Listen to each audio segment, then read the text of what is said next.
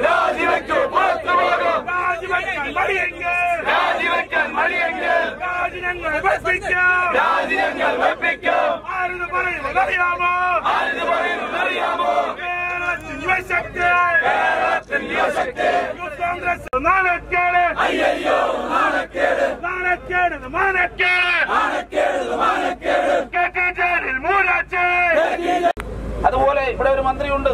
അദ്ദേഹത്തിന്റെ ഇപ്പൊ രാജസ്ഥാനിൽ പശു വകുപ്പ് ഉണ്ടെന്ന് നമ്മളിപ്പോ ഒരു ലക്ഷം പ്രഖ്യാപിച്ച ഈ റിസൾട്ട് വന്നപ്പോഴാണ് അറിഞ്ഞത് മൃഗസംരക്ഷണ വകുപ്പ് നമ്മൾ കേട്ടിട്ടുണ്ട്. പക്ഷെ പശുവിന് വേണ്ടിയിട്ട് മാത്രം ഒരു വകുപ്പ് രാജസ്ഥാനിൽ ബി ജെ പിക്ക് ഒരു മന്ത്രിയുണ്ട്. അതുപോലെ ഒരു വകുപ്പ് കൂടെ ഉണ്ടാക്കണം. ആർക്ക് വേണ്ടി? സുധാകരന് വേണ്ടി. അദ്ദേഹത്തിന്റെ ഭാര്യയുടെ നിയമനം പറഞ്ഞു. അദ്ദേഹം പറഞ്ഞു ഞാൻ അറിഞ്ഞില്ല.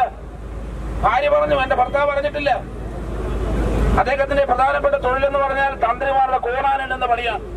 കോണകം വകുപ്പ് കൂടി മന്ത്രിസഭയിൽ ഉൾപ്പെടുത്തണമെന്ന് വിനീതമായി അഭ്യർത്ഥിക്കുകയാണ് അങ്ങനെ ഒരു വിവരം കെട്ട മന്ത്രി. നാക്കെടുത്താൽ ആളുകളെ ആക്ഷേപിക്കുന്ന ഒരു മന്ത്രി മന്ത്രിയുടെ ഭാര്യയെ നിയമിച്ചു. പിടിക്കപ്പെട്ടപ്പോൾ അവർ പുറത്തായി.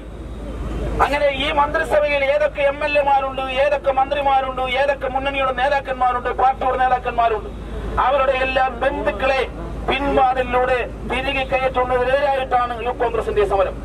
നിയമസഭയിൽ കഴിഞ്ഞ കുറച്ച് ദിവസങ്ങളായി എം എൽ എമാർ സത്യാഗ്രഹത്തിലാണ്. എം എൽ എമാരുടെ സമരം കണ്ടില്ല എന്നടിച്ചുകൊണ്ടാണ് മുഖ്യമന്ത്രിയും സ്പീക്കർ ഉൾപ്പെടെയുള്ള ഈ മന്ത്രിസഭ മുന്നോട്ട് പോകുന്നത്. ഇതിൽ പ്രതിഷേധിച്ചുകൊണ്ട് ഈ മാർച്ചിൽ പങ്കെടുത്ത മുഴുവൻ സഹപ്രവർത്തകരെയും സുഹൃത്തുക്കളെയും ഞാൻ സംസ്ഥാന നിയമസഭയുടെ ഈ സമ്മേളനത്തിൽ രണ്ട് വിഷയങ്ങളാണ് പ്രതിപക്ഷം പ്രധാനമായും ഉന്നയിച്ചിട്ടുള്ളത്. ശബരിമല വിഷയവുമായി ബന്ധപ്പെട്ട് നിരോധനാജ്ഞ അടിയന്തരമായി പിൻവലിക്കണം എന്നാവശ്യപ്പെട്ടുകൊണ്ട് പ്രതിപക്ഷ നേതാക്കന്മാർ മൂന്ന് എം എൽ എമാർ സത്യാഗ്രഹത്തിലുമാണ്. അതോടൊപ്പം കെ ജലീൽ അനധികൃതമായി ക്രമവിരുദ്ധ നിയമനം നടത്തിയെന്ന് തൊണ്ടി മുതൽ അത് പിടികൂടുന്നത് പോലെ നൂറ് ശതമാനം തെളിവുകളുടെ അടിസ്ഥാനത്തിൽ പ്രതിസ്ഥാനത്ത് നിൽക്കുന്ന ശ്രീ ജലീൽ രാജിവെക്കണം എന്ന ഒരാവശ്യം കൂടി പ്രതിപക്ഷം ഉന്നയിച്ചിരിക്കുക